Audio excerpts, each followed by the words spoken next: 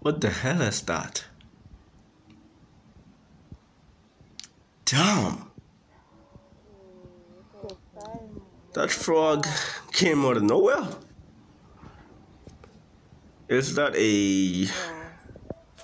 I got this from Dora. I remember Dora back in the day, red eye tree frog.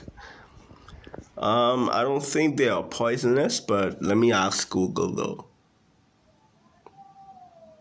Hmm. That is crazy.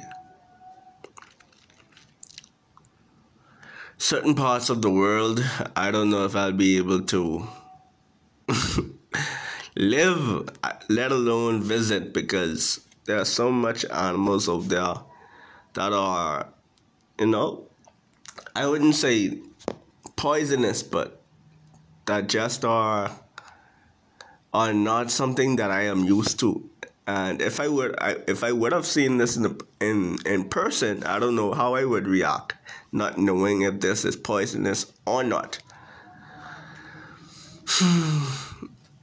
Australia, although I want to visit, I am scared because Australia is known for stuff like this, for anything to pop off anytime.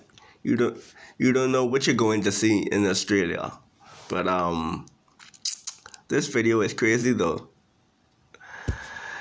I didn't know um it says that they use this as a protection mechanism like they sleep and predators wouldn't really um, find them as easy. You, you may think this is a leaf because I would have thought that was something else.